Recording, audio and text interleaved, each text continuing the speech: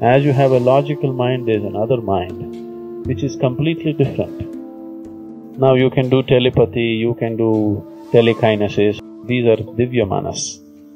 At that stage, it is very easy to develop that, but it also brings immense suffering.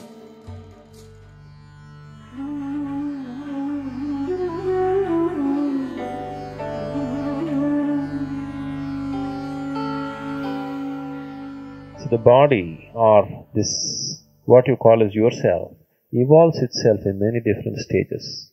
Looking at this evolution, in yoga we see this as seven different stages or we say seven different bodies man has. Seven different bodies need not necessarily mean actually seven different bodies. These are seven different stages in which one grows. From zero to seven, up to seven years of age, only the physical body grows. This is Sthula Sharir or the gross body. 7 to 14, another body which is called as Bhav Sharir, the emotional development of a person happens.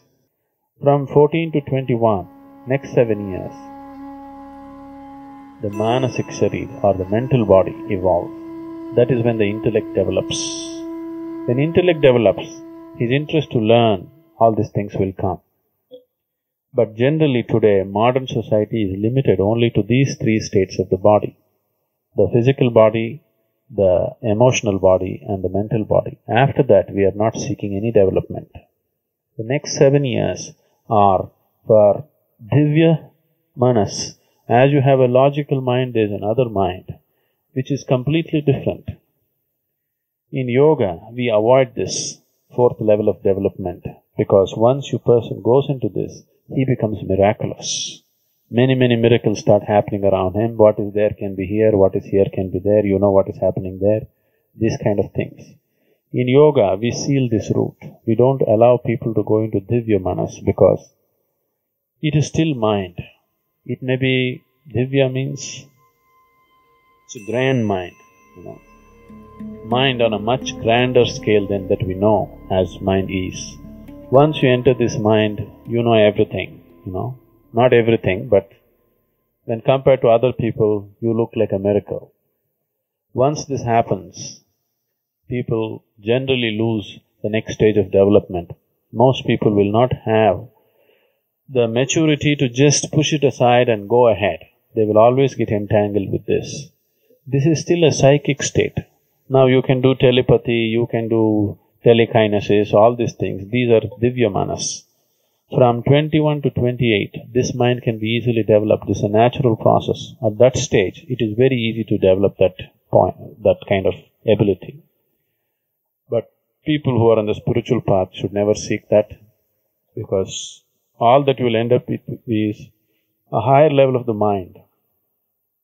As it is, mind is deceptive. A higher mind is even more deceptive. It gets you entangled in a much deeper way than the low mind. So we just keep that aside. Nobody will seek the absolute once they come to contact with Divya Manas because it is so huge, so vast, so miraculous. It feels like God. You don't need anything more. That's a, that's a kind of feeling that it creates. But it also brings immense suffering. As normally a person who goes into Divya Manas, after 47, 48 years of life, tremendous amount of suffering is brought about. On the path of yoga, we are trying to bypass a few things and go always to complete emptiness, total dissolution, because till then the job is not done. Once we approach spirituality as a science, then we are not looking for entertainment on the path. Whatever little, little things happen, we are only looking at it as a stepping stone for something bigger that can happen.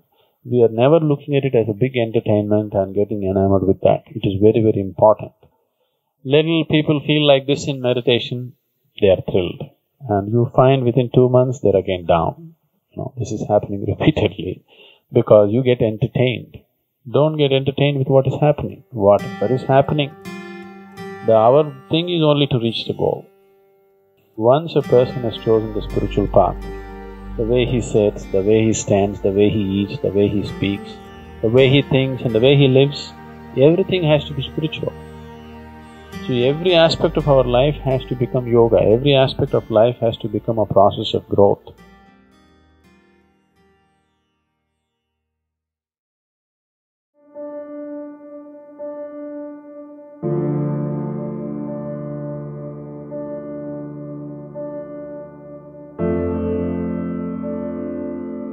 This solar system, human system is an ultimate machine. 114 chakras in the system, you can move them. If you arrange it in a certain way, you've become a full-fledged divine entity. We don't allow people to go into Divya Manas. Once you enter this mind, you know everything. It is more attractive than anything that you know in your life. All the seven different chakras are in your feet. There is a whole technology about how to hold the feet. What you cannot achieve in years and years of sadhana, you may achieve in a moment. Your nervous system is capable of feeling how old the flowers are. Every moment, absolutely, you are with that dimension which is the basis of everything.